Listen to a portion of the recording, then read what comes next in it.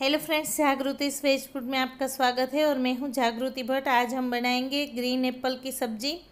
Apple तो हम खाते हैं ग्रीन एप्पल हम ऐसे ही नहीं खाते हैं फ्रेंड्स सब्ज़ी बनाए, सब्ज़ी बहुत ही टेस्टी लगती है। तो ग्रीन एप्पल को इस तरह से कट कर लेंगे।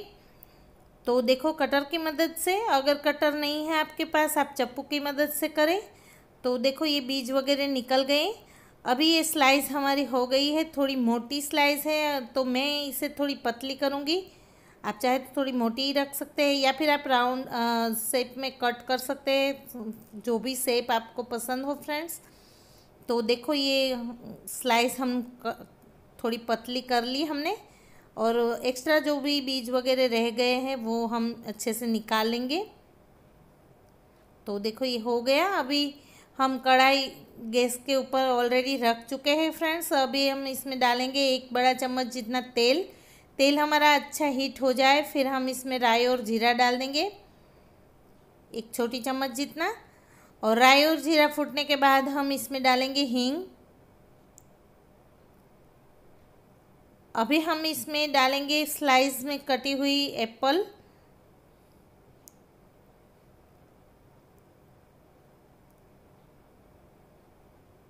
तो स्लाइस एप्पल की डालने के बाद हम इसमें मसाले करेंगे। गैस की फ्लेम को बिल्कुल लो रखें फ्रेंड्स तो लाल मिर्ची पाउडर हल्दी पाउडर धनिया जीरा पाउडर और नमक डाल दिया। और अभी हम इसे अच्छे से मिक्स कर लेंगे। अच्छे से मिक्स करने के बाद एकदम लो फ्लेम पर इसे दो से तीन मिनट तक आ, बिल्कुल अच्छा सॉफ्ट हो जाए हमारा एप्पल तब तक हम इसे पकने देंगे। तो ढककर इसे दो से तीन मिनट तक बीच बीच में देखते हुए पकाएँ। तो देखो, तीन मिनट के बाद हम चेक करेंगे, एप्पल हमारा अच्छे से पक चुका है कि नहीं। तो इस तरह से थोड़ा दबा के देखें। तो ये एप्पल हमारा अच्छा सॉफ्ट हो चुका है। अभी हम इसमें डालेंगे मूंगफली का क्रश।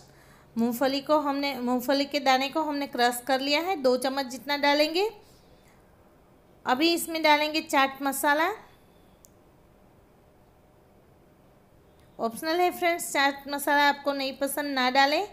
अभी हम इसमें डालेंगे थोड़ी सी चीनी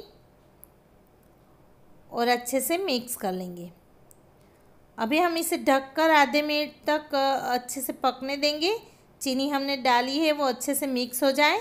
आधी मिनट के बाद गैस की फ्लेम को ऑफ़ कर एक से दो मिनट तक इसे सीजने दें। और फिर इसे गर्मा गर्म ही सर्विंग डिश में सर्व करें। तो फ्रेंड्स बनाइए और अपने अनुभव हमारे साथ जागृति वेज फ़ूड पर शेयर करें। बताएँ कि इस लगे आपको रेसिपी रेसिपी पसंद आए तो प्लीज़ लाइक शेयर और सब्सक्राइब करना ना भूलें। मिलते हैं अगले वीडियो में नई रेसिपी के साथ। Thank you